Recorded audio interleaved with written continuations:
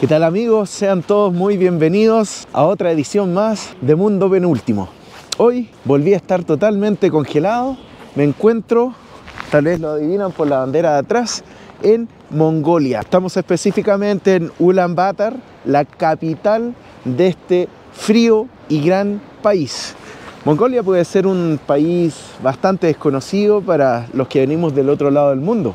Algunos datos pequeñitos. Mongolia tiene 3.300.000 habitantes. La mitad de ellos vive aquí, en la capital.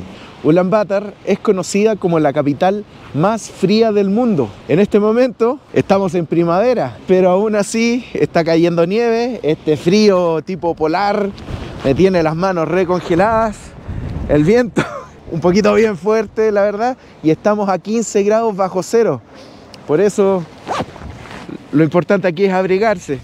Lo más conocido de Mongolia, y también es de las pocas cosas que yo sé de Mongolia antes de venir acá, es este señor que tengo aquí atrás, el famoso Gengis Khan.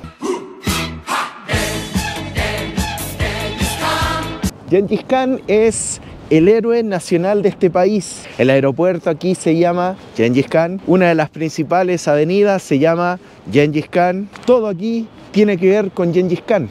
Pero tal como les dije, Mongolia es tan desconocido para muchos de nosotros que eso es precisamente lo que nos hace estar acá. Eso es lo interesante. Aquí hay alguna particularidad.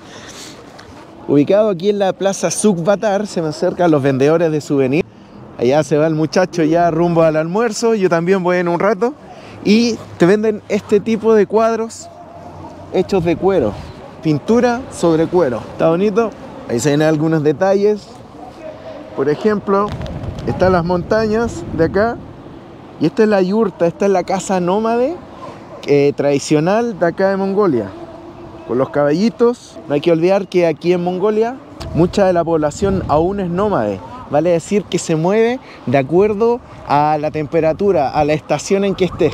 Cuando hace mucho frío toman sus animales y los llevan a las partes, por así decirlo, más cálidas para que puedan pastar.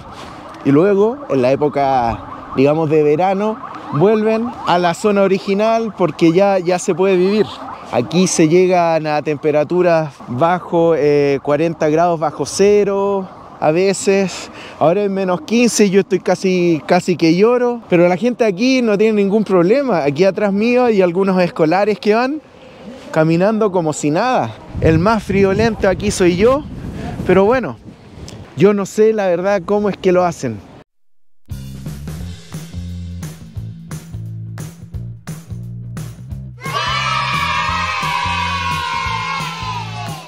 Ya estamos de vuelta. Ahora sí, se fue la nieve, hay un día hermoso, soleado por acá, miren qué cielo más azul. ¿ah? Y eso de que Ulaanbaatar se dice que es una de las ciudades más contaminadas del mundo. Eso se puede notar cuando uno viene llegando desde el aeropuerto a unos 45 minutos de acá. Pero bueno, aprovechando el día, vamos a disfrutar esta linda ciudad.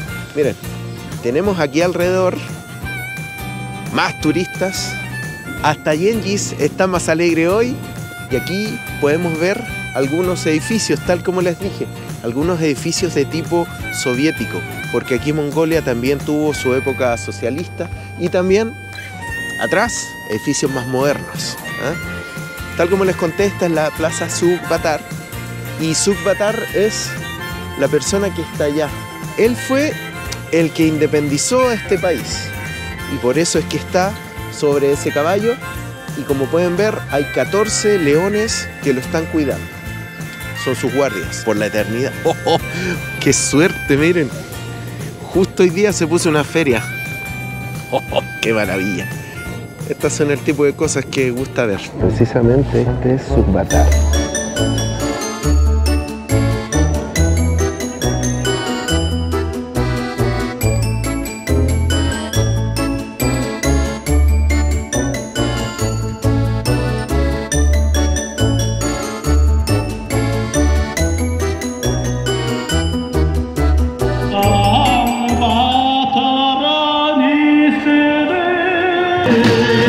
creció la ciudad.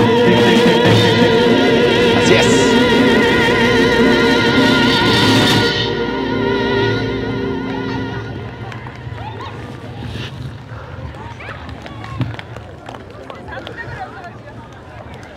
Монгол улсын зэвсэг төчний жанжин штабын үлгэр жишээ үлээвэр марил хөгжим Монгол улсын урлагийн гавьяа цэцгэлтэн навааны цэрэн бэлгийн хөгжим